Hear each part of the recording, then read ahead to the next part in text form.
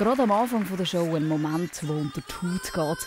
Die Art Ice Dancer und Eisläufer gedenken der Donna Summer und dem Robin Gibb von den Bee Gees, wo beide letztes Jahr verstorben sind und wo beide auch schon auftreten sind da bei Art on Ice.